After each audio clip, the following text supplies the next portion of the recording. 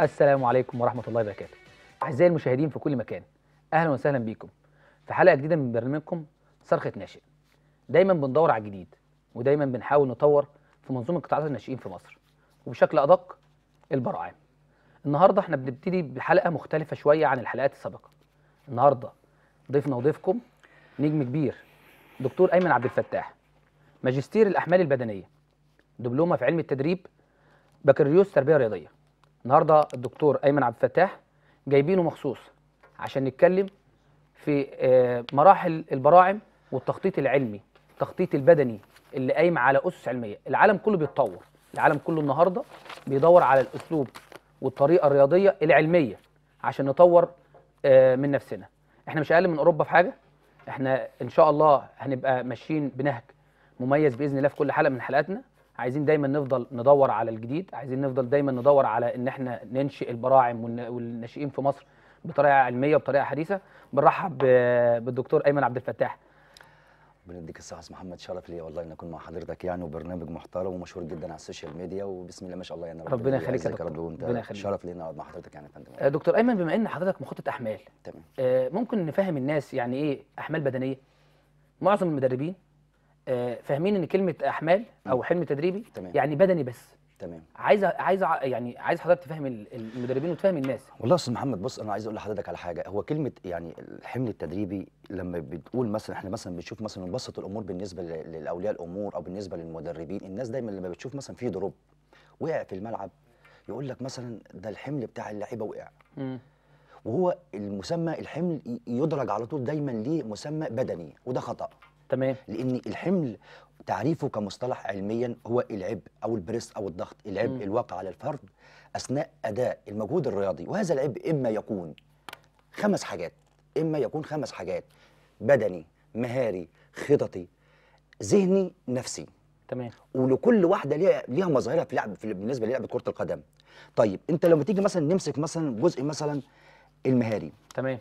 إيه اللي ممكن مثلا بما إن الحلقة مثلا موضوع مثلا فيها براعم نقول مثلا الجزء المهاري دون إيه اللي ممكن أخطاء يحصل للولد بريس في النقطة دي أنا عندي الجزء المهاري ده يا أستاذ محمد بيتكون من عندي مهاري بسيط ومهاري مركب.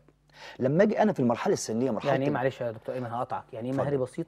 ومهاري مركب هقول لك يعني عايز إيه. أفهم الناس. ببساطة كده إن يعني يعني عشان الناس حلو. تبقى متفاعلة معانا تمام. وفاهمة الكلام اللي حضرتك بتقوله كلمة مهاري بسيط يعني دي أنا بعلم الولد مهارة واحدة فقط single say مثلا مهارة التمرير تمام مهارة مثلا الاستلام مهارة ال headers تمام. مهارة مثلا التصويب مهارة رمية التماس دي مهارة واحدة فبالتالي ينطبق عليها كلمة مهاري بسيط مهاري بسيط تمام أما كلمة ال- المها- مر- مهاري مركب دي بتجمع بين صفتين مهارتين الاستلام وال pass والتمرير الاستلام وال pass وال shooting تمام. التصويب. أو إنك أنت تجمع بين صفة مهاريه وصفة بدنية حلو أو. بين صفة خططية وصفة مهاريه تمام. فده الفرق بين كلمة بسيط وكلمة مركب. فبالتالي المرحلة السنية دي أنا لما يكون مثلا عندي طبعا هنرجع إن شاء الله نستخدم مثلا في موضوع بالنسبة للتقسيمات بتاعة البراعم والكلام ده كله فلما نيجي مثلا نستخدم بالنسبة للمرحلة السنية الصغيرة ونقول مثلا نديهم مثلا كمدرب أنا راجل كم مثلا راجل مسؤول مثلا تمام؟ أو مدرب مثلا كوتش معروف. لما أجي مثلا أستخدم مثلا مع الولد الشغل المهاري المركب والولد لسه عنده الإعداد الذهني أو فكره لسه ما نضجش. تمام. يتمنى بجد إن أولياء الأمور ما يبصوش لأولادهم بالمنظر اللي هو ده محمد صلاح ده مثلا كذا ده في الأهلي ده في الزمالك. لا أنت بص إن العقلية دي لسه عقلية صغيرة محتاجة شوية نضج شوية. فبالتالي إحنا بنقول إن الشغل البسيط يعني إيه؟ يعني أنا أعلم الولد الجزء المرحلة السنية وبما إن الحلقة حلقة براعم محتاج إن الولد ياخد الشغل كله من الثبات. تمام. تعليم مهارة واحدة بس. مم. أبدأ بقى لأن المرحلة السنيه دي هتلقى فيها يا أستاذ محمد كمية أخطاء رهيبة. مم. كمية أخطاء رهيبة. فبالتالي أنت بتحاول بقدر الإمكان ومحتاجة صبر من المدرب إنه يفضل يستخدم. واستخدم إيه في الجزء المهاري البسيط؟ في أنا عندي مثلا نوعين مثلا من الشغل المهاري. مم. أنا سي مثلا هعمل مثلا مهارة مثلا التمرير الباص، والباص. آه. تمام؟ طيب هل هعملها من الثبات أم أعملها من الحركة؟ مم. دي بتعتمد على العمر الزمني اللي هنرجع إن شاء الله لما نقول كلمة التقسيمات بتاعتها. مم. يعني أنا مثلا لما يكون عندي مثلا ولد عنده خمس سنين من خمسة لسبع سنين. تمام. أنا أقدر اديله مثلا حركة. هقول له مثلا خد مثلا املى وشك مثلا. لا الأول أعلم الولد من الثبات الأول. أعلمه بالثبات يعني إيه؟ يعني أنا أشرح للولد أول حاجة واجبات المدرب أو. واجبات الكوتش الأول أو واجبات مثلا المخطط الأحمال اللي بيدي تعليماته بالنسبة للمدرب. يعمل حاجة واحدة بس الأول. تمام؟ المفروض المدرب يشرح يشرح المهارة. شرح لفظي مم. الأول ويوريها للولد بتتعمل إزاي. هل الباص والتمرير ده بيتعمل بالخارجي بالداخلي ببطن القدم؟ فطبعا أنا مش هقول مثلا للولد طفل صغير هقول له إيه بقى؟ عشان بالبلدي تمام. هقول له مثلا صابع رجلك الكبير فين؟ يقول لي أهي يبقى دي إيه؟ داخلي مم. أقول له الصغير فين يقول لي اهو أقول له ده خارجي ده خارجي. أقول له تملى الكرة كلها ببطن رجلك يبقى إيه ده يبقى ده بطن القدم إحنا نحاول نبسط الأمور بالنسبة للسادة آه، المشاهدين كابتن أيمن. خليتني خلي من كلام حضرتك خلاني أسألك أقول لك هو ال- المفترض إن في مراحل البراعم يبقى في مخطط أحمال من عند كام سنة؟ مخطط الأحمال يا فندم لازم يكون موجود حتى من من- كلمة مخطط أحمال يعني إيه هو الراجل كلمة مخطط أحمال ده شغله آه، يا أستاذ محمد ده نظري تمام هو بيخطط الوحدة التدريبية وتسلسل الوحدة التدريبية اللي إحنا معظم المدربين ما تعرفش يعني إيه كلمة تسلسل الوحدة التدريبية. مم. أبدأ بإيه وأفنش بإيه. ولما أجي مثلا أقول كلمة وحدة تدريبية أنا عندي الإحماء. الإحماء اللي بيعمله الولد. تمام. معظم المدربين بيشتغلوا. معلش يعني معظمهم أو ناس كتير جدا بيعملوا الإحماء كإحماء. آه آه الطريقة لكن الطريقة المفروض بتاعتنا علميا العادية. أوروبا بتعمل إيه؟ آه. الإحماء يا أستاذ محمد بيعملوا يخدم الجزء الرئيسي.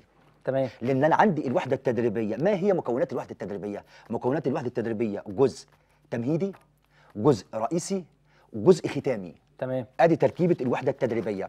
طيب أنا لما أقول مثلا جزء تمهيدي تمهيدي يعني إحماء. مم. لازم الإحماء يخدم الجزء الرئيسي. say مثلا أنا أحط مثلا مكون الرشاقة أو أحط مثلا مكون التوافق. تمام في الجزء الرئيسي. هشتغل عليه. طيب مكون الرشاقة والتوافق دي أجهزة عصبية. تمام. ده أجهزة عصبية تمام؟ أجهزة عصبية يعني أقصى حاجة بتنتجها العضلة full speed ده بالنسبة لمين؟ مش بالنسبة للبراعم. لا بالنسبة للناشئين بالنسبة لفريق الدرجة الأولى. أما للبراعم أنا بعلم الولد التكنيك. يعني تمام؟ أفهم من كلام حضرتك يا دكتور أيمن إن إن مراحل البراعم لازم يبقى فيها مخطط أحمال. لازم. لأن هو هيدي المدرب إيه؟ يجي عامل إيه؟ يجي مثلا ماسك كوتش كده أقول لك يا أستاذ محمد اتفضل أنت النهارده هتعمل لي مثلا 1 2 3 4 هقول لك مثلا النهارده هتبدأ مثلا هتبسي كبداية هتبدأ بالرشاقة. مم. بس في نقطة. طب إيه دور المدرب؟ دور المدرب إن أنا كراجل كمخطط أحمال أنا أكتب لك كلمة أستاذ محمد. مم. تمام؟ دورك إنك أنت تبدع فيها بقى كمدرب وتثبت لي بقى إبداعك في كلمة الرشاقة. لكن أنا مش هكتب لك مثلا كمخطط أحمال أكتب لك كلمة رشاقة وأعمل لك التمرين.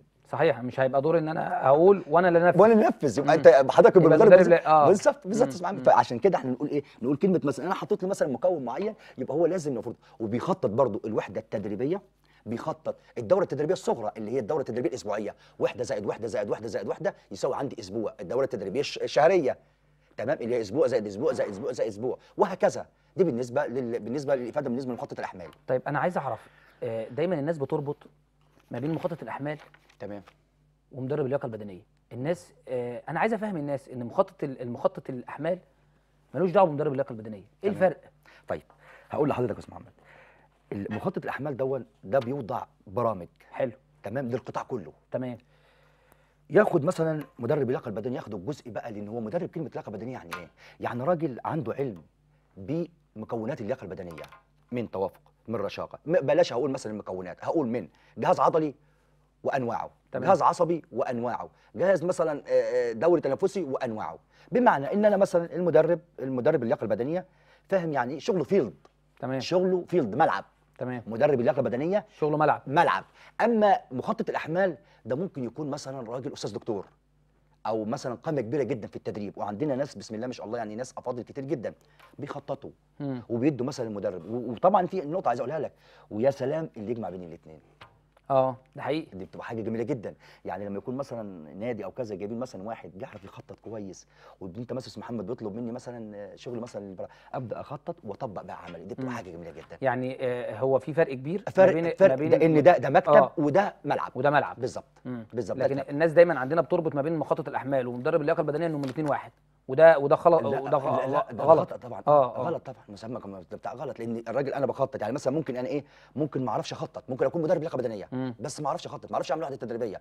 ما أعرفش تسجل وحده تدريبية. ما أعرفش مثلا كذا. لكن أعرف مثلا إيه تقول لي مثلا اشت- اشتغل رشاقة أقول لك حاضر. اشتغل توافق أقول لك حاضر. تقول لي اشتغل مثلا كذا. كده بالظبط. طيب آه، مرحلة البراعم عندنا بتبتدي إمتى؟ وبتنتهي إمتى؟ إيه، في نهايتها يبتدي يخش في مراحل قطاعات الناشئين. يعني مرحلة البراعم إحنا عارفين إنه مرحلة البراعم في مصر بتبتدي من سبع سنين ثمان سنين. بتخلص عند إمتى؟ عشان أبتدي أقول إن ده بقى ناشئ. ناشئ تمام. ينطبق عليه مواصفات التدريبات بتاع الناشئ مش مراحل البراعم تمام. آه، بص يا أستاذ محمد أنا عايز أقول لحضرتك على حاجة. هو التخطيط في المرحلة السنية دي آه، اختلفوا أهل العلم في من خطط الموضوع ده على مرحلتين وفي من خططهم مثلا على مرحلتين بينهم مستويين. تمام. أنا اتكلم بس إيه شوية ابسط الأمور بالنسبة للناس. تمام. أقدر أقول إن مرحلة البراعم بت- بتقول مثلا من خمسة ل 12 سنة. كويس. ده مبدئيا من خمسة ل 12 سنة. طيب من خمسة ل 12 سنة دي ليها تقسيمات. مم. ليها آه تقسيمات. يعني 8 سنين 7 سنين مش هيبقى زي خمس سنين؟ بالظبط يا فندم. سنين مش هيبقى كده، بالظبط يا آه. أستاذ محمد. بالظبط. فأنا مثلا بقول مثلا إيه المرحلة مثلا الأولى. من خمسة لسبع سنين. حلو. طيب دي بتسمى إيه؟ أنا عندي ولد صغير. مم. يعني لسه عنده الإدراك والإدراك الحسي بتاعه صغير جدا. فبالتالي لما تشوف مثلا من خمسة لسبع سنين طب ده ياخد إيه؟ ياخد دي بيسموها مرحلة اسمها مرحلة التمتع حلو. أو مرحلة المتعة. أنا عايز أعلم الولد فيها إيه بقى؟ يعني من خمسة لسبع سنين دي إيه المطلوب إن أنا أعلم فيها ألو... ال... ال... ال... الناشئ؟ أو البرعم معلش أنا آسف. تمام تمام. أنت أول حاجة بالنسبة لل... لل... للجزئية دي تمام؟ أول حاجة أنت بتتكلم مثلا هعلم الولد مثلا في المرحلة لو من خمسة لسبع سنين. تمام. أول حاجة المهارات الأساسية. حلو. المهارات الأساسية في كرة القدم. إيه هي المهارات الأساسية؟ يعني مثلا هستخدم مثلا دلوقتي الجزء مثلا المهاري. الجزء المهاري, المهاري. هقول مثلا آه، مهارة مثلا ثانية واحدة كده هتلاقيها مثلا موجودة عندنا برضو مظبطه هنا. ركل الكرة يا أستاذ محمد. الجري بالكرة. ضرب الكرة بالرأس السيطرة على الكرة. بس الحاجات دي أستخدمها إزاي؟ ده الحتة النقطة اللي عايز أوصلها لك. أنا لما أكون مثلا كولي أمر و... وشايف إن مدرب والابني مثلا عنده خمس سنين وأنا ببسط الأمور لحضرتك عنده خمس سنين. والمدرب مثلا اعمل باص كده وارجع لورا خش لقدام. ده ما يصحش محمد. ده صحيح. الشغل الأول علميا إن الولد زي ما قلت لحضرتك من شوية كمدرب أتعامل نفسيا مع الولد. خلي الولد يحبني الأول. مم. ثم بعد كده أقول له أفهمه. يعني إيه بطن الرجل؟ يعني إيه الخارجي يعني إيه الداخلي؟ أشرح له المهاره أنا عايز إيه؟ عايز الباص والتمرير فاضطر أعمل إيه؟ إن أنا أوريه أشرح له الأول ببقي. تمام؟ أشرح له المهارة كويس جدا. ثم بعد كده أبدأ أنفذ أنا المهارة قدامه. ثم بعد كده أبدأ أقول للولد اعمل كده. هتلقى مثلا الولد هيغلط. هيغلط ليه؟ هيستخدم أجزاء من جسمه أنا مش محتاجها في المهارة. مم. فبالتالي أنا هبدأ واحدة واحدة واحدة واحدة أصحح ليه؟ طيب من الناحيه العلمية المفروض أعمل إيه في الجزئيه دي؟ ما استمرش بقى كمدرب أو ك coach أفضل شغال بقى ال season كله أو الأسبوع كله على آه، المهارة بتاعت ركله الباصة الكره أو ال- آه. بالظبط. أنا الولد خلاص اكتسب حاجات معينة وفهم حاجات معينة في أخطاء بسيطة. أروح أنقل على مهارة تانية. مم. ما ينفعش أبقى مصمم على مهارة واحدة. لا أروح أنقل مثلا على الجري مثلا بالكرة. تمام إزاي يقدر مثلا الولد يجيب آه، أنقل مثلا على مهارة ضرب بالرأس وبعد كده أرجع ليها تاني بحيث الأخطاء ال- ال- ال- اللي لاحظتها مثلا بالنسبة لركل الكرة والكلام ده كله. فالمرحلة السنية دي محتاجة من الجوانب المهارية تعليم المهارات الأساسية. حلو. تمام؟ آه نخش بقى على المرحلة اللي هي أكبر شوية من مثلا من من 10 ل 13 سنة. ده المطلوب مني إن أنا انه إن أنا ادي له إيه؟ أدي للبرعم في المرحلة دي إيه؟ لا ما أنا عايز أقول لحضرتك على حاجة. إحنا دلوقتي قسمناها لمرحلتين. لمرحلتين. آه المرحلة الأولى دايما بقول لأولياء الأمور المرحلة الأولى بتبقى من خمسة لسبع سنين. سبع سنين. الولد بياخد فيها إيه؟ برضه أرجع فيها تاني برضه سريعا كده يا أستاذ محمد برضه عشان ولي الأمر برضه خلاص أنت. حضرتك قلت قلت ان الباص ال- المهارات الأساسية المهارات الأساسية آه. بس من الثبات. من الثبات. من الثبات مش من الحركة. آه. لحد ما تقل عنده الأخطاء أبدأ بقى أشتغل معاه واحدة واحدة من الحركة. بعد سبع سنين بقى. ب- بع- م- في المرحلة دي في المرحله أيوه من اللي هي دي فروق فردية يا أستاذ محمد. تمام. دي فروق فردية حضرتك. يعني مثلا أنا ممكن الاقي مثلا ولد كويس مم.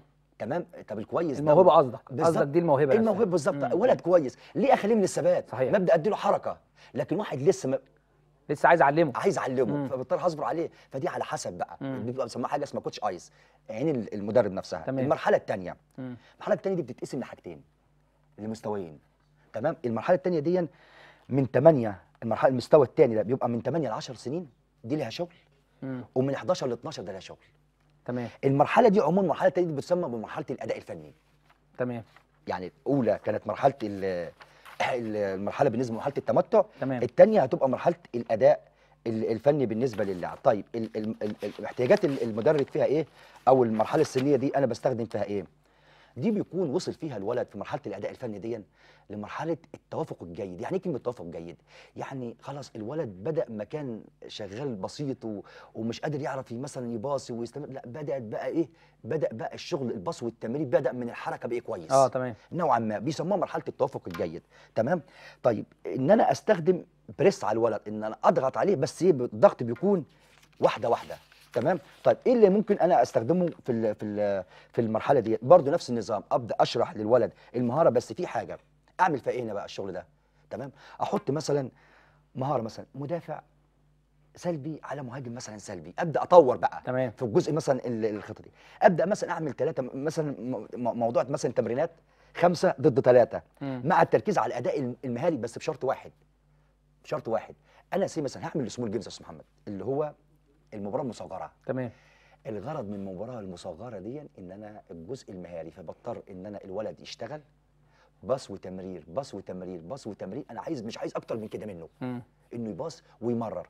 طيب بشرط واحد إن الولد ما يوصلش لحالة التعب. لأن دي تسمى في علم التدريب أو مسمى في ال physical fitness حاجة اسمها تحمل الأداء. أنا. مش عايز ده. أنا الغرض من إن أنا بعمل ال small games دون إن بضيق ليه المساحة. وطبعا برضه مهما كان برضه المرحله السنيه صغيرة صحيح. مرحله براعم صحيح. بحاول إن اضيق ليه المساحة تمام وأبدأ أشتغل أركز بقى على المهارة. مهارة إيه؟ مهارة التصويب. أبدأ أركز على مهارة التصويب. داخل ال small games مهارة ركل الكره وهكذا وهكذا وهكذا. ده بالنسبة لل للمرحلة. السنيه بالظبط آه. آه، المدرب برضو بيعطي المرحلة الثانية برضو اللي هي إحنا قلنا من من 10 ل ل 12 12 يعطي كل الحاجات اللي قريبة جدا من المباراة. يبتدي بقى ي- ويصحح. يعيشه في أجواء آه. يعيشه في أجواء المباراه لأن خلاص هو داخل على مرحلة إيه؟ إنه يبقى ناشئ. هو أنا هنا هسألك سؤال بقى مهم جدا. اتفضل. هي مرحلة البراعم ال- ال- مرحلة البراعم هي مرحلة تدريبية ولا مرحلة تعليمية؟ مليون في المية مرحلة تعليمية. يعني أنا أنا أنا مطالب فيها إن أنا أدربه وأديله شغل بدني ولا مطالب فيها إن أنا أعلمه وأخليه يكتسب المهارات ويكتسب الكلام ده؟ بص يا محمد إحنا هنتكلم في الجزئية دي باستفاضة وإن شاء الله نقدر برضو نشرحها مع السادة المشاهدين ونفهمهم الشغل الصح بيتعمل إزاي بالنسبة لبره أنت بتشوف حاجات بره طيب مم. أول حاجة أنت بتقول لي هل البراعم محتاجة شغل تعليمي أم محتاجة شغل تدريب؟ تمام. مليون في المية محتاجة شغل آه تعليم. تعليمي. آه مرحلة تعليمية. طيب لما نقول كلمة مثلا تعليم نحط سهم كده ونقول نكتب تحتها بالظبط كده تكنيك. امم ولما نقول كلمة تدريب نيجي عاملين سهم ونقول تحتيها تدريب. تمام. تمام؟ تمام. آه، اداء قصدي معلش آسف. تمام؟ تدريب يعني أداء. حلو. تمام؟ طيب التعليم مع التكني ده مرحلة البراعم. التدريب مع الأداء ده مرحلة الناشئين والدرجة الأولى. آه يعني ال- ال- ال- الجزئية الثانية دي مش بتاعتنا بتاعت الناشئين بتاع- وال- والمرحلة ال- مش آه. موضوعنا. تمام. لكن موضوعنا إحنا كلمة التعليم. إيه هو التكنيك؟ تمام. نعرفه بشكل مبسط إحنا قلنا دلوقتي المراحل السنية يا فندم يا أستاذ محمد قلنا قلنا المراحل من خمسة ل 12 سنة. حلو. صح كده؟ تمام. طيب الولد ياخد في إيه بالنسبة لشغل التعليم. نمسك مثلا نقطة نقطة إحنا اتكلمنا في الجزء المهاري اللي هو من الثبات ثم بعد كده أبدأ من الحركة. طيب أنا اللي يهمني كراجل مخطط أحمال إيه اللي بيستخدمه بالنسبة للياقة البدنية؟ رقم واحد مفيش حاجة اسمها تحمل. مفيش تدريبات تح- تحملية خالص. تحمل خالص. آه. ده رقم واحد. ليه؟ لأن عنده السعه الهوائية صغيرة عنده معدته آه، مم، مم. الرئتين. تمام. بنقول بالبلدي كده مش. هنقول هوائيه هنقول الرئتين بتوعه صغيرين. امم مش محملين بالأكسجين. صحيح. فبالتالي غيري وغير حضرتك أو ما تمش مرحلة النمو. مم. فبالتالي الأكسجين داخل ال- الرئتين عنده قليلين جدا. تمام؟ فما اشتغلش عليه بدني ما ينفعش اشتغل عليه تحمل. تحمل آه. تحمل. تحمل تمام؟ آه. طيب اتنين ما ينفعش اشتغل معاه الحاجات الخاصة. ولا تحمل خاص ولا تحمل أداء خالص نهائي. طيب أنت حبيت مثلا أديله مثلا كلمة رشاقه أو حديت مثلا أديله كلمة توافق أو أديله مثلا توازن الأول يا أستاذ محمد أنت لو بصيت على كلمة رشاقه يعني إيه؟ مم. طيب نعرف للسادة المشاهدين يعني إيه كلمة رشاقه لأن المشكلة في حاجة هناك فرق بين المبدع والمقلد. صحيح. يعني إحنا بره بنشوف مثلا أستاذ محمد بشوفه حاطط قمع وطبق. أروح أنا مكان تاني أعمل قمع وطبق. واضرب. تمام؟ يجي ولي الأمر. ده جامد قوي. ده مكسر الدنيا. وهو يا عيني مش م... أنا عندي أماكن بتاعتي خاصة بيا والكلام ده وبشتغل فيها يا أستاذ محمد يعني بعمل إيه؟ أقصى حاجة بشتغل ب 10 أقصى حاجة. مفيش حاجة اسمها 30 لا وفي مثلا زي مجموعة تانية. أقصى أقصى عدد لاعبين. أقصى عدد. آه. ليه؟ لأن بتعتمد على. المرحلة بتكلم على البراعم. مم. لأن المرحلة دي محتاجة شغل تعليم. تعليم. بتكنيك يعني إيه؟ معنى كلمة تكنيك يعني الوضع التشريحي الخاص لأداء المهارة الحركية. كويس. الولد يدخل إزاي على الحاجات دي؟ مم. يدخل إزاي كلمة رشاقة؟ طيب لما نيجي مثلا تقول لي مثلا طب أنت قلت كلمة تكنيك وقلت كلمة اداء تقدر تقول لي مثلا تطلعها إزاي من التعريف بتاع الرشاقة؟ أقول. لك مثلا say مثلا تعريف الرشاقة تغيير جسم اللاعب سواء في الهواء أو على الأرض. تمام؟ تغيير جسم اللاعب. كلمة تغيير جسم اللاعب يعني تكنيك. انسيابية. بعديه بعد التعريف بقى بعد التعريف بقى التعريف بقى إيه؟ في أقل زمن ممكن. كلمة أقل زمن ممكن يعني full speed آه. يعني أقصى حاجة بتبدأ يبقى ده أداء. ده أداء. آخد الجزء الأولاني مع البراعم واخد الجزئين مع الناشئين. حلو قوي لأن أنا راجل اشتغلت في الدرجة الأولى والله يا أستاذ محمد بشوف حاجات درجه اولى مم. ال- مش عارف يدخل رشاقة مش عارف يدخل توافق مش عارف ليه مرحلة التأسيس غلط.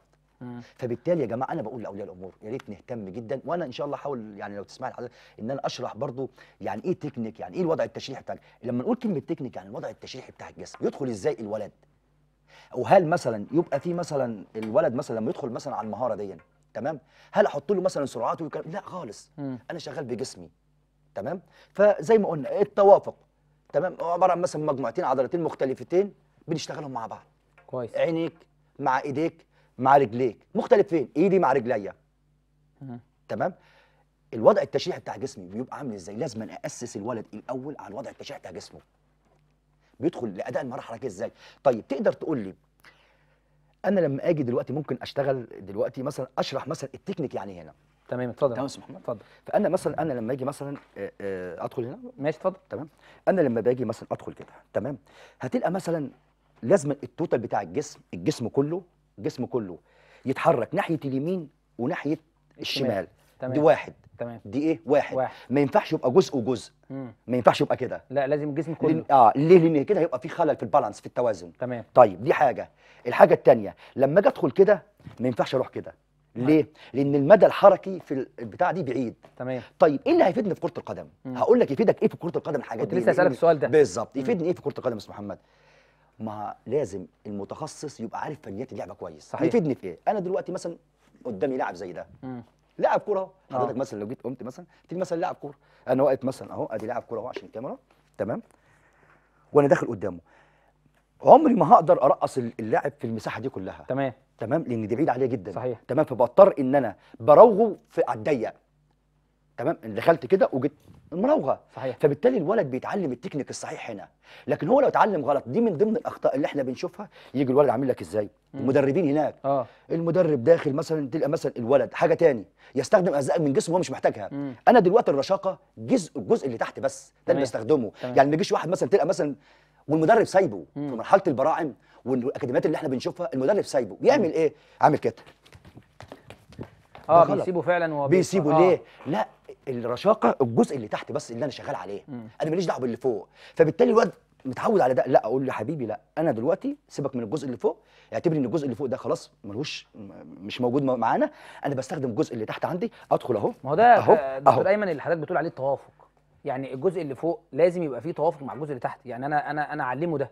مش كده؟ مش حضرتك تقصد كده؟ أنا أقصد كده آه بس آه. أنا عايز أقول لحضرتك على حاجة. بالنسبة لكلمة ال- التوافق إن أنا بجمع بين بس أنا ما شغالش توافق. تمام. أنا شغال أنا دلوقتي عايز اسس الولد آه، على اللي تحت. تمام. أنا ما شغالش توافق يا أستاذ محمد. تمام. أنا دلوقتي شغال على الجزء اللي تحت. طيب التكنيك يعني زي ما قلت رقم واحد إن ال total كله مع بعض. رقم اتنين المدى الحركي جنب العلامة عشان أتكلم بلدي شوية. تمام.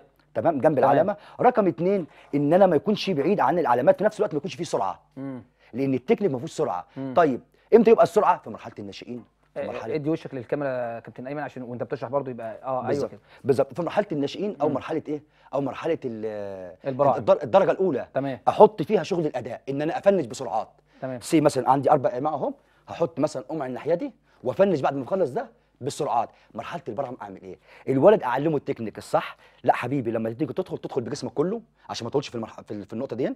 تمام؟ رقم اثنين المدى الحركي بتاعي بيكون قريب من العلامة. هل مدربين البراعم بيركزوا في حاجة زي كده؟ أنا بوقف التمرين 20 مرة. مم. التمرين بوقفه 30 مرة. درجة أولى ناشئين براعم بوقفه. بوقفه ليه؟ لأن الولد داخل على أداء. دي مهارة حركية. مم. ما ده اللي بستخدمه في الكورة. أنت فاهم قصدي إزاي؟ ده اللي بستخدمه في شغل الكورة. تعال لنقطة تاني. تمام؟ لما مثلا الاثنين بيجروا جنب بعض وكتفي بكتف زميلي والواحد وقع. تمام؟ مين اللي هيقوم بسرعة؟ صحيح. مع القوام بسرعة دي دي رشاقة. مم. محتاجة انسيابية في جسم الإنسان. نيجي مثلا لموضوع دي بالنسبة للأخطاء اللي إحنا بنلاحظها واللي إحنا بنشوفها بالنسبة للناس اللي بره اللي بتشتغل. ما بتشرحش. اجري اعمل ما أعرفش. لا غلط. غلط. أنا الولد أسسه من تحت الأول أشتغل معاه تكنيك بس أشوف وضعه لكن كوني إن أنا أروح أمسك الولد واقول له اجري لا ما يصح إيه ما بتشوف أنت بتسمع الحاجات دي بنشوف؟ آه ونسمعها. بنشوف. آه. وبصويت وزعيق والولد يا عيني لو غلط ولا ولي أمر أنت ما عملتش كده ليه؟ ويعمل بريس. هو ده الاحمال التدريبية الزايدة. آه. اللي يعني هنسأل حضرتك عليها اللي دلوقتي بالظبط اللي يعني عايز أوصل لك إنك أنت أعداد ذهني بالنسبة للاعب خطا ال ال ال الولد في مرحلة البراعم بنشوف بعض المدربين بتشتغل شغل بدني قوي قوي تقيل. الإصابات ال- اللي اللي بتحصل نتيجة ال ال ال- الحمل البدني ده يا دكتور أيمن. تمام. الإصابات دي يعني نتفاداها إزاي؟ طيب. نتفادى الإصابات في مرحلة البراعم إزاي؟ رقم واحد يا أستاذ محمد لما تيجي مثلا بالنسبة لمرحلة البراعم بالنسبة للإصابة أول حاجة دور على الكوتش. دور على الوحدة التدريبية هو حاططها إزاي؟ تسلسل الوحدة التدريبية دي معمول إزاي؟ ده النقطه اللي عايز أوصلها لك. أنا عايز أسألك سؤال. ما ده. لا لا ما انت بتأدي الإصابة يا فندم. لا لا أنا هسأل حضرتك سؤال. هو. انت أنت بتشوف الحاجات دي عندنا في في مصر؟ كتير جدا. يعني يعني في ناس بتشتغل آه أنا بالشغل كنت آه آه بتعمل أقول لك لا مفيش ما- أسمع. لا لا بجد والله. أصل أنت بتكلمني محمد آه. أستاذ محمد خلينا نتكلم اصل. إحنا عايشين في مصر. طيب أنا أنا معاك والله. أنا. مع حضرتك. بص واحد بعد ما بيخلص خلص تمرين مم. ينزل يبدا تمرينات بطن وظهر دب دب دب قوة عضلية. مم. وهو مش عارف يا عيني. ده تلات أرباع الجيمات ما تعرفش يعني إيه كلمة تقسيمات القوة العضلية. مم. ولا يعرف ياخد القياس بتاع العضلة. مصيبة. يعني كلمة قياس للعضلة ما يعرفش ياخدوه. والقوة العضلية أستخدمها إزاي مع البراعم؟ ما يعرفوش. هم بس يقول لك جنبات اطلع. حرام عليك. ده انت ضيعت لي الرباط والمفصل والغضروف والكلام ده كله؟ المرحله السنية الصغيرة عايز تديها قوة اديها أساتك. مم. أساتك مطاطية. يعني إيه؟ الأساتك. مم. أنا لو كان معايا كنت جبت ليك مثلا أساتك إزاي استخداماتها. مم. تمام؟ ودايما أركز على حاجة واحدة بس في حاجة من ضمن أنواع القوة ده حاجة اسمها endurance stress اللي هي تحمل القوة. ده اللي استخدمه في المرحله السنية دي. أشرح للناس للحفاظ. أش- أشرح الناس تحمل ال- ال- اللي حضرتك بتقول عليه ده تحمل؟ القوة. آه تحمل القوة إزاي؟ تحمل القوة ده بيكو- بيكون أوزان خفيفة بس بالبلدي. مم. بالبلدي. تمام. أول حاجة لازم أخد القياس. أنا عايز أقوي ولدي. ابني أو ابني يكون كويس وقوي. أول حاجة مشكلتنا يا أستاذ محمد بص عشان ما أشرحهاش علمي. مشكلتنا ليه اللاعب بيجي له يقول لك مثلا في الرباط في الغضروف في عارف السبب إيه؟ السبب إن اللاعب بيروح يتمرن على عضلة طبعا العضلة بتقوى العضلة ركز معايا. العضلة بتقوى تمام. الرباط يضعف. ليه؟ ما انت العضلة دي ما انت دلوقتي أنا العضلة دي زي رباط طيب. انت ما اشتغلتش على الرباط الأول. هو الرباط ده ليه شغل لوحده؟ على الشغل لوحده. مم. الر- ال- بص الأربطة والمفاصل والغضاريف لها شغل لوحدها. ده انت هنا بتقول لي كلمة في وسط الكلام بتقول لي آه مقاس العضلات اللي هي قياس آه قياس العضلة. آه بالظبط. إحنا عندنا آه في حد بيعمل آه آه الشغل اللي حضرتك بتقوله ده؟ اللي هو قياس العضلة والكلام ده. أنا عن نفسي آه. أنا بعمله. يعني بيتعمل للناشئ أو للبرعم إمتى؟ يعني أنا أبتدي أعمل أخد مرحلة القياس دي لا لا لا لا. ال- البراعم البراعم لا أنا بف... أنا بتكلم كبدأ لكن بتكلم البراعم مش محتاج القياس دلوقتي. حلو. أنا بعمل إيه مع البراعم؟ تمام. بالنسبة للقوة العضلية بستخدم الاساتك المطاطية. بس. الاساتك أو ألمانيا بتعمل إيه بقى؟ مم. تجيب مثلا الأجهزة أجهزة الجيمات ويدخل الولد يعلمه نفس الشغل يقول لك على التكنيك. يعني إيه تكنيك؟ قاعد كده. تمام؟ say مثلا قاعد على جهاز الدفع الأمامي. بص الألمان بيشتغلوا إزاي؟ ومفيش أوزان خالص يا أستاذ محمد. تمام؟ ويجي مثلا قاعد الولد الأول يقول له اقعد صح. تمام؟ اظبط جسمك يجي قاعد في الوضع التشريحي الصح. تمام. ده رقم واحد. سي مثلا يشتغل مثلا على جهاز الدفع مثلا الأمامي أو على الرباعية. إمتى ياخد الشهيق وإمتى يطلع الزفير؟ تمام. الناس هناك معلمين أستاذ محمد. مم. انت فاهم قصدي إزاي؟ بكلمك بأمان لكن آه. هنا ارزع. ارتاح آه بالظبط واضرب. إحنا بنتكلم واقع أنا بتكلم باسلوب بلدي شوية بس يعني. هي ال ال المهارة آه، بتكتسب يعني بمعنى في مرحلة البراعم السرعة والرشاقة دي حاجة بتكتسب ولا دي حاجة آه، ربانية زي ما بيقولوا؟ يعني م- مع الولد وهو ال- ال- الحركة والسرعة بتاعته. يعني أنا ممكن من خلال التخطيط الحملي إن أنا أدي للولد هو مش سريع أخليه يبقى سريع؟ طيب أنا هقول لحضرتك على حاجة يا أستاذ محمد. هو ده ده ده آه، كان الموضوع فيه شائك. أنت تعرف إن الكسر العالمي بيكسروه في كام؟ يعني مثلا لما واحد مثلا أنا مثلا في مثلا يقول لك مثلا أنا عملت مثلا 100 متر مثلا سي مثلا في 10 ثواني مثلا أو مثلا خمس ثواني. تمام. لما واحد يكسر الكسر ده بيكسره في ثانية. آه. فالسرعة جزء من الثانية. دي واحد. طيب أنا وجهة نظري الشخصية ومش وجهة نظري قالت في المراجع كتير جدا أنا بكلمك باستفاضة. وأهل العلم كتير جدا اتكلموا في الجزئية دي إن موضوع ال- السرعة دون خاص بالمقطع الفسيولوجي بتاع العضلة. يعني إيه؟ أنا عندي العضلة دي فيها ألياف بيضاء وألياف حمراء. الألياف الحمراء دي سريعة الانقباض سريعة التعب. بطيئة الانقباض بطيئة التعب. دي تمتاز بالتحمل ودي تمتاز بالسرعة. آه. أنت فاهم قصدي إزاي؟ آه آه. فدي أرجع وأقول لحضرتك يا أستاذ محمد إن السرعة عوامل وراثية. حاجات ما تكتسبش السرعة لا أنا. بكلمك وتحديداً. أيوه لا أنا بقول لحضرتك السرعة آه ما أنا. بكلمك يعني أيوه الشغل استفاضه آه أكسب فيه إيه مثلا ممكن إيه ممكن اجسام مثلا ثانيتين ثانية دي أقصى حاجة مم. لكن اللي تقدر تعمل فيه شغل الاجل الرشاقه الرشاقة الرشاقة يعني الرشاقة اللي ممكن أطور مع إن. الرشاقة خلي بالك عايز أقول لك إن الرشاقة منبثقة من السرعة أنا يعني لازم. يكون ما بالظبط. ما لازم يكون ما بص الرشاقة يعني ما لازم تؤدى باقصى حاجة تديها المصل صح، العضله. لأن دي لأن الأجهزة العصبية السرعة وأنواعها. الرشاقة والتوافق دي كل دي أجهزة عصبية فبالتالي الرشاقة بتكتسب بس مع الوقت. لو. مثلا الولد عنده ضعيف جدا ممكن مع الوقت تكتسب. مم. تكتسب. لكن السرعة آه أقدر ألعب فيها بس بتلعب في نسب قد إيه؟ مم، دي. بترجع للالياف العضلية. يعني أنت لو بصيت على مثلا آه، نجمنا محمد صلاح مم. هتلقى مثلا عنده الألياف الحمراء عالية جدا. ما شاء الله. ده عامل وراثة. ده عمل وراثة. بالظبط. ملوش دعوة بالتدريبات ملوش دعوة بأي حاجة خالص. لا بيبقى ليه لا، التدريبات ليها بت عوامل. بت آه بت بس ما أنا عايز أقول لحضرتك على حاجة. هو إيه اللي بيخليني أنا أبقى سريع جدا؟ مم. تمام؟ أنا إيه اللي أقدر أعمله؟ طيب أنت تسألني سؤال. تقدر تقول لي إيه اللي أقدر أعمله مع الولد عشان يقدر يتعلم السرعة؟ وإيه الأخطاء اللي بنشوفها في الملاعب؟ تمام. اتفضل يا أستاذ محمد هقول لحضرتك. اتفضل. برضه مش هخرج برضه من نفس الموضوع برضه في التمرينات مثلا السرعة. تمام. تمام؟ نبص نلقى المدرب. تمام؟ الواد بيعلم مثلا السرعة وهم بيعلموا السرعة. مم. تمام؟ بيجي مثلا الولد تلقاه مثلا يجري يجري طبيعي كده. لا. آه. بره يعلم يعلموه إزاي. يقول لك الولد بص شايف إيده عاملة إزاي؟ يقول لك بص الوضع التشريحي بتاع جسمي أرجع للشغل برضه هنا تاني الوضع التشريحي بتاع جسمي. لازم إيدي تبقى شغالة معايا. إيه اللي بيديني الباور؟ إيدي. وأنا شغال بتحرك. أهو أهو أهو حركة إيدي معايا. فاهم قصدي إزاي؟ وبرجع تاني. يبقى اللي بيديني ال- ال- السرعة حركة إيدي. رقم واحد لازم أعلم الطفل يقعد الأول ويبدأ يتحرك بإيه؟ بإيده الأول. لحد ما يوصل لدرجة إيه؟ درجة الآلية بحيث إن إيده تبقى شغالة معاه. اوتوماتيك.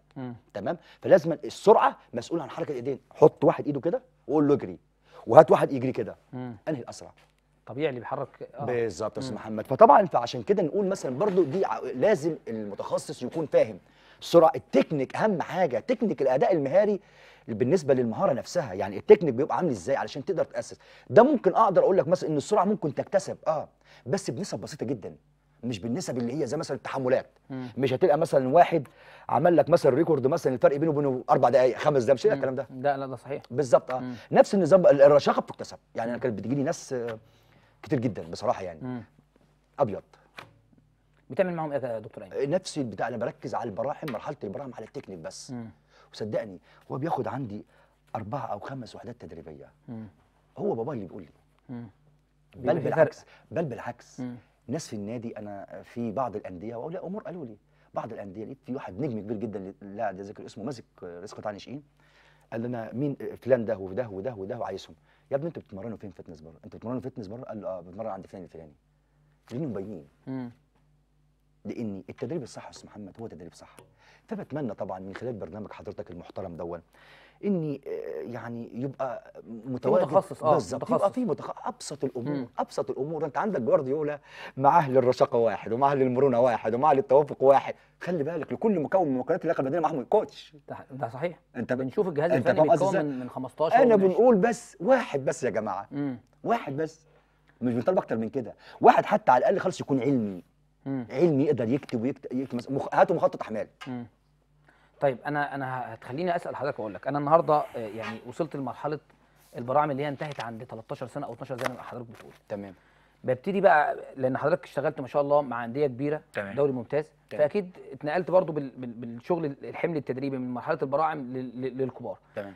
مرحلة ال ال 13 سنة اللي هي بداية الناشئين. الناشئين. تمام.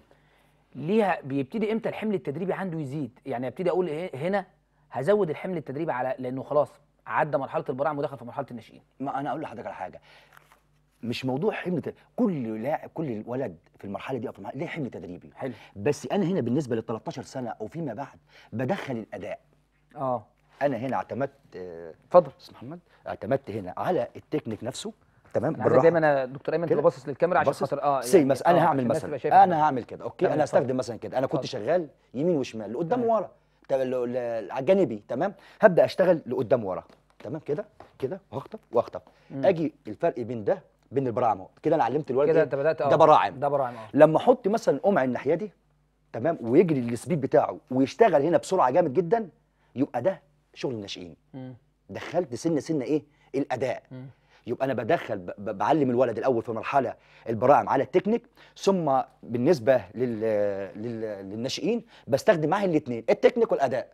تمام. بدخل أهو بسرعة بسرعة بسرعة إحنا معانا معانا حاجات برضه تانية حضرتك آه جايبها في لل- حاجات بالظبط. آه عايزين نبقى برضه نشرحها لل- لل- ما عنديش للساده مشكلة المشاهدين مفيش مشكله بحيث إن إحنا نبقى يعني آه، اعطينا اعطينا اعطينا زي خطة كده ال- ال- ال- ولي الأمر يبقى حتى لو هو في البيت يبقى يشتغل على جزء لو هو عايز يطور منها. لا مش في البيت. آه. يعرف بس يا أستاذ محمد بعد إذن حضرتك المدرب اللي شغال صح من المدرب مش شغال صح. مم. طيب خد من ضمن الأخطاء اللي إحنا بنشوفها بره اتفضل يا فندم.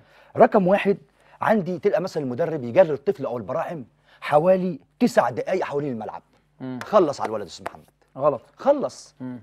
خلص لأن أنت عندك تعرف إن الدرجة الأولى الدرجة الأولى لو مرنت الولد لو, مرنت اللاعب بعد 13 دقيقة جري حوالين الملعب إحمائي. كده أنت دخلت في مكان التحمل بعد 13 دقيقة. بعد 13 ده دقيقة. الفريق الكبير. الفريق الأول. آه. فما بالك بقى لما أنت تجري ولد مثلا لسه صغير عنده آه تسع آه عنده خمس ست سنين سبع سنين ثمان سنين تسع سنين عشر سنين. اجريه تسع دقايق. طب ليه طيب؟ لأنك أنت أنهكت الولد. هتاخد منه في التمرين في الوحدة الرئيسية. صحيح. خلص. فالمفروض بالظبط نقول كلمة إيه؟ شطب. مم. طيب لو الولد اشتغل يؤدي ما يسمى باللي هو الحمل الزائد. وأنا عاوز اوصل بالولد لمرحلة إيه؟ مرحلة التعويض الزائد. مم. فعلشان كده أنا عايز أقول لحضرتك إيه؟ عايز أقول لحضرتك ان لما تشوف مثلا كولي أمر أنا هتكلم بال... باللغة آه، آه. بتاعتنا الدارجة شوية. أنا ولي أمر بشوف مدرب بيجري ابني حوالي 9 دقائق أو 10 دقائق حوالين الملعب. في بداية الوحده التدريبية ده شغل خطأ. لما أجي ألقى مدرب إحنا آه عندنا كوارث يا دكتور كتير جدا. ده أنا بشوف مدربين تعال نصور. ده أنا بشوف مدربين آه، في مرحلة معينة يعني 12 13 سنة ممكن يقعد بدني ساعة ساعة ونص. لا. بجد والله. يعني يعني يعني ده إحنا ده, ده علش يعني أنا بقى خليني أسأل هقول لحضرتك الحمل البدني الزيادة الحمل البدني بيأثر على ال- على ألو... على اللاعب في المرحلة السنيه الكبيرة؟ بيؤدوا الاصابه يعني أنا النهارده يعني الأحمال التدريبية الأحمال البدنية أنا هديك مثال بسيط. جدا. تمام؟ أنا أقول لك على حاجة. في فرقة لا داعي ذكر اسمها في الدوري الممتاز كانت بتلعب الموسم اللي عدى. تمام. كانت بأول خمس مباريات تبقى أول الدوري. ونهاية الدوري في النهاية في الدور الثاني. بتنافس على الهبوط. ده سببه؟ هقول لك سببه إيه؟ إنك أنت بتدي أحمال تدريب بتكثف الولد في فترة الإعداد حاجة بريس بريس أحمال عالية عالية عالية عالية عالية. تشبع. يجي الكرف نازل. هات حضرتك كوباية مية وافتح ال- الحنفية قوي. وحطها على الحنفيه تلقى الكوباية اتملت. تشيل الكوباية تلاقيها فاضية نصها فاضي صحيح. لأنك أنت بتكثف. ولذا كده دخلت حاجة اسمها الأحمال التدريبية. مم. إمتى أحمال تقسمها إزاي؟ آه، مكونات حمل التدريب إزاي؟ هل المدرب يعي مكونات حمل التدريب؟ يعني إزاي يقدر؟ يعني مثلا أنا مثلا لو اديتك وحده تدريبية دلوقتي كمدرب خد خد أنا عايزك تاخد وحده تدريبية وتديها للمدرب. وقول له لو سمحت أنا عايز أرفع الحمل في الوحده دي وعايز أقلل الحمل في الوحده دي. واتفرج. مش عارف.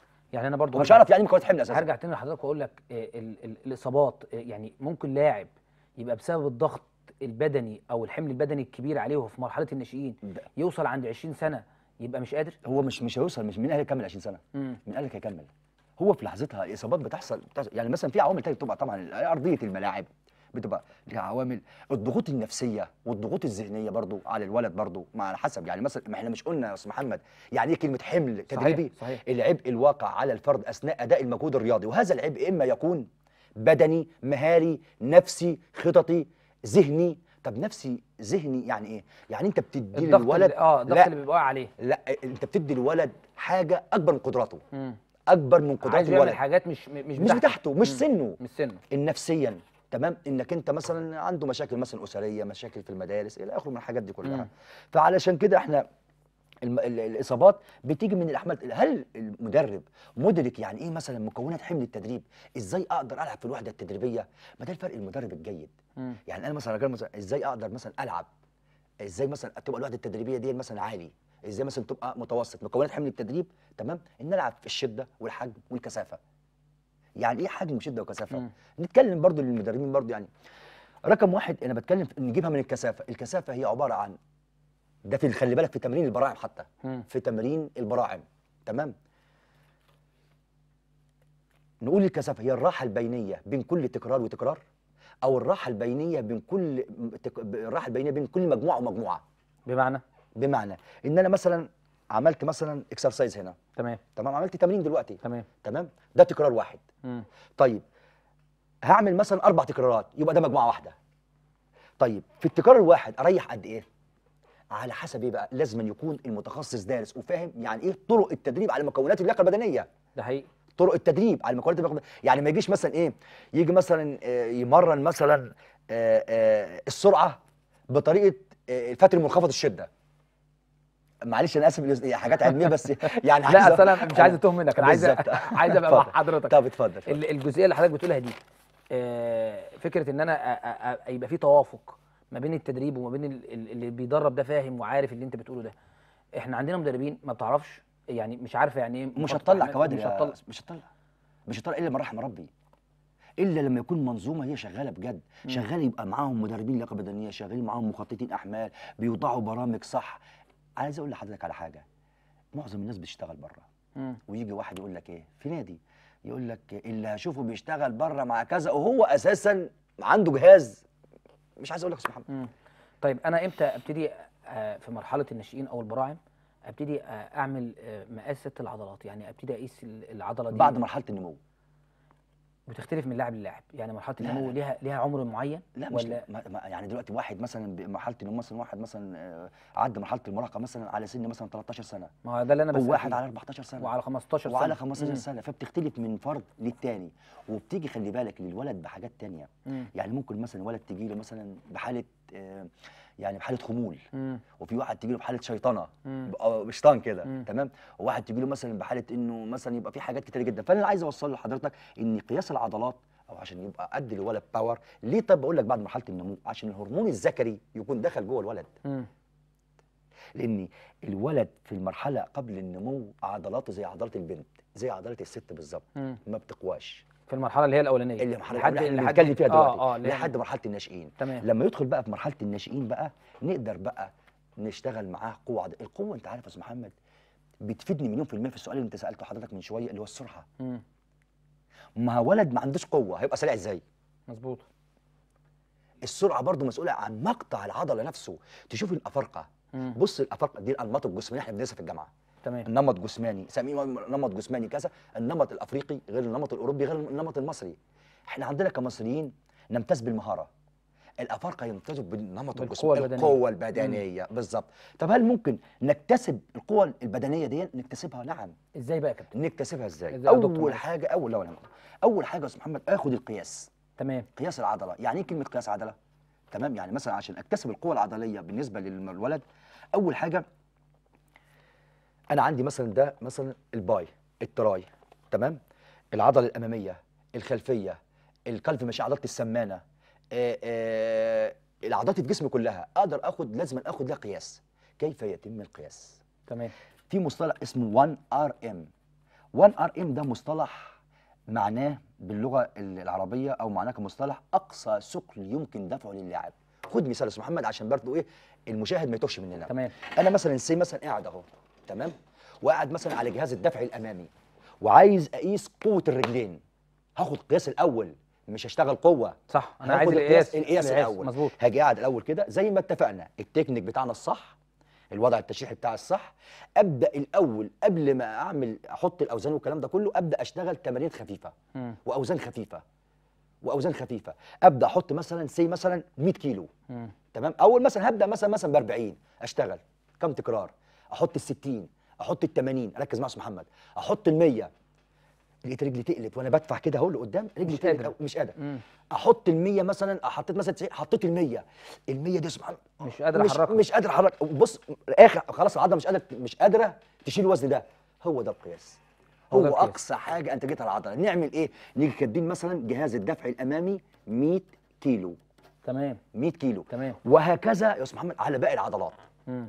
ال bi ال tri الس- ال- السمانة ال- الأمامية الخلفيات الجهاز ال- ال- الرجلين مع بعض. كل عضلات الجسم اخد القياس بنفس الشكل اللي أنا عملته. أنا اديتك for example تمام. مثال.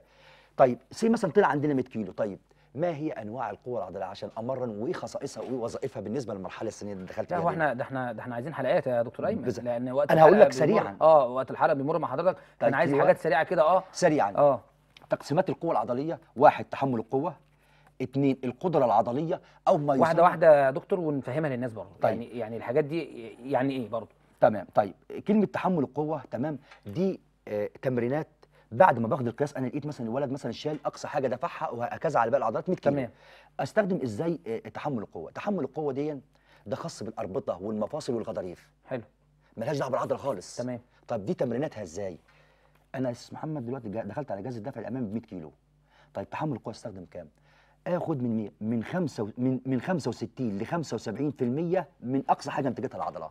مم. وصلت؟ آه وصل يعني هستخدم كام؟ يعني هدخل على كام؟ أدخل على 65 65% 65 طيب أنا هدخل دلوقتي على 65 كيلو من أقصى حاجة أنتجتها العضلة. طيب إيه الغرض من القصة دي كلها يا أستاذ محمد؟ عارف الغرض من القصة دي كلها إيه؟ شفت أنت حضرتك ال 100 كيلو اللي كنت مش قادر أدفعهم؟ الغرض إن أنا في نهاية البروجرام يوصلوا ال 100 كيلو في رجلي لبانة. آه. وصلت؟ تمرين سهل. الله ينور. يبقى سهل بدل ما كان في صعوبة. مع التمرين. وده المتخصص اللي يقدر يوصلك للجزئية دي.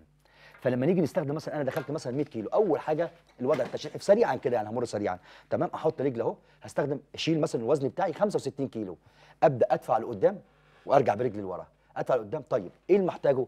أول حاجة التكرارات لا تقل عن من 10 ل 12 أنا عايز أقول لحضرتك إن إن وقت الحلقة خلص بسرعة جدا جدا جدا مع حضرتك أنا ما حسيتش. بصراحة والله معاك آه لا ربنا يعني. يكرم حضرتك وإحنا لسه ما خلصناش بقى ولسه ما. خلصناش بالظبط الحاجات حاجات يعني فإحنا يعني إن شاء الله يا رب ال- ال- ال- الحلقة النهارده تكون أفادت جزء كبير قوي من من من البراعم آه، الرسالة اللي الدكتور أيمن بيقولها إن لازم يبقى عندنا آه، وعي في حتة البراعم ما نضغطش على الولد تدريبيا ما نضغطش عليه حمل بدني قوي عشان خاطر نقدر العضلة بتاعت الولد ما تستهلكش اللي عند 18 سنة و20 سنة آه، إحنا بناخد وعد من الدكتور أيمن إن شاء الله إنه يبقى معانا. في حلقات جاية بإذن الله كتيرة لأن إحنا لازم نعمل فقرة ثابتة عندنا في في في صرخة ناشئ للشغل البدني عشان أنا بشوف كوارث بتحصل آه، إصابات مزمنة لبعض اللعيبة لما بتكبر في السن.